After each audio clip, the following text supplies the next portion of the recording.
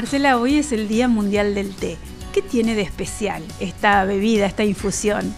Eh, la infusión del té es milenaria, así que tiene un montón de beneficios, el que lo consume sabe.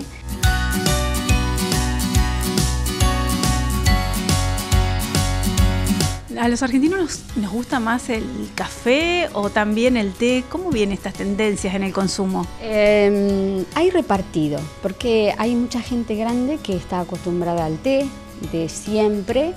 Incluso, bueno, yo eh, tomo té en mi casa. Así que mm, hay de todo, y el café con leche o el café común, que es muy nuevo, digamos, ahora. En los últimos años han aparecido mayor cantidad de variedades de té. Sí, hay montonazo, mucha variedad. Nosotros tenemos algo de variedad, no te voy a decir que tenemos eh, mucha, pero bueno, lo más común que puede llegar a pedir algún cliente, que puede ser alguna infusión de hierbas, algún té verde, algo de jazmín, eh, rosa mosqueta, hay mucha variedad. Entonces, viste, tenemos lo que más consume porque, bueno, nada, hay que tener eso, digamos.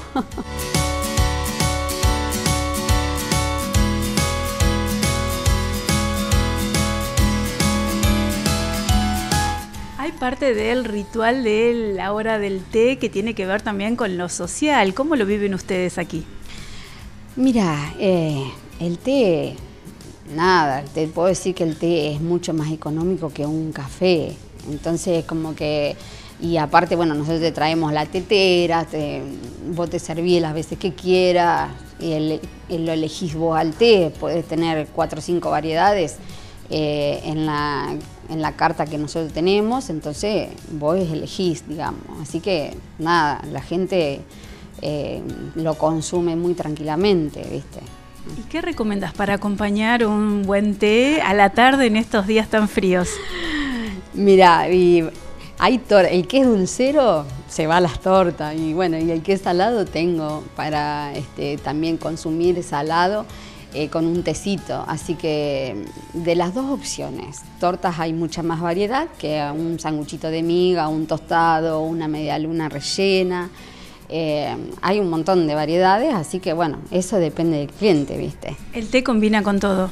El té combina con todo, sí. Y el que está acostumbrado al té te pide té, olvídate. Sí, sí, sí, sí. ¿Se dan los encuentros de amigas para tomar el té? Uy, sí, un montón. Sí, sí, sí, sí. Hemos tenido mesa de 15, 20 personas, festejar cumpleaños. Y siempre hay 5 o 6 que toman té. Seguro, seguro. Pero bien, bien. ¿El té se toma con azúcar o natural? Uy. y eso depende también, ¿viste? Hay hay mucha gente que le gusta con bastante. El que es dulcero le va a poner, no sé, 5 de azúcar y, un poquito de té. Pero mm, hay de todo. Yo particularmente la prefiero con poquito de azúcar. ¿Y leche?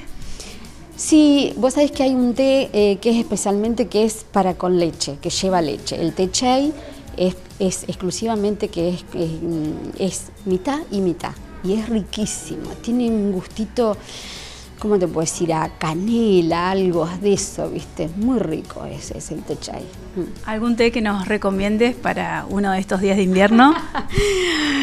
y el de hierba es riquísimo y bueno, el de jazmín es lindo, el de rosa mosqueta, son muchos té que tienen ese aroma, ¿viste? Muy particular que no tiene un té común, ¿viste? El té negro común de casa, ¿viste? Como que están acostumbrados, pero mm, es, la gente consume lo que le gusta, olvídate.